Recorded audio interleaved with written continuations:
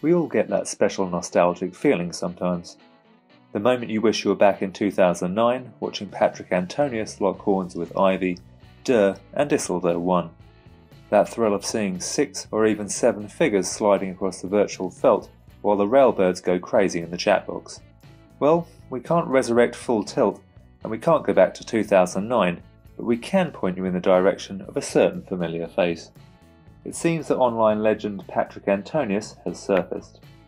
Not only is Antonius alive and well, but he is apparently also thirsting to get back into the action at the live poker tables.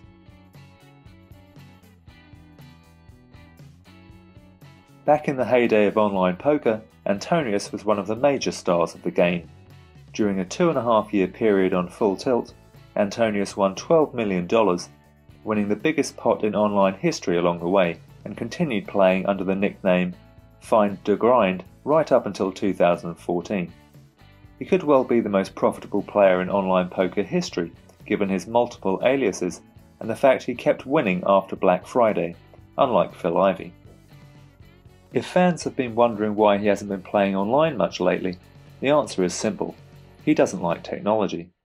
He has since said that technological advancements have made online poker a different game and confessed, I lost about a million straight and then realised that I couldn't beat the ring games anymore, and that was largely due to tracking software.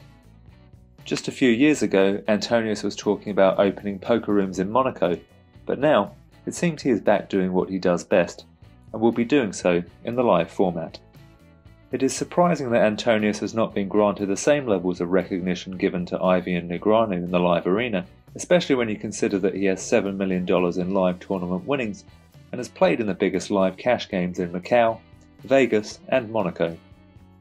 While he hasn't been seen at live events much in recent years, we could be about to see a change in 2018.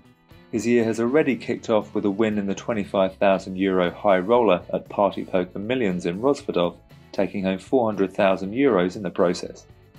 Just a few hours later, he was putting together another deep run, reaching the final table in the 50,000 euro super high roller, but he eventually bubbled.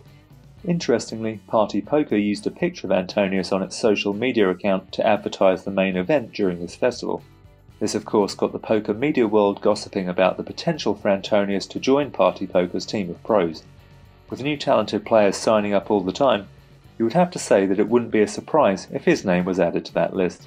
But for now, the next rumoured stop on Antonius's live schedule is the 5100 euro pot limit Omaha game in Tallinn, Estonia.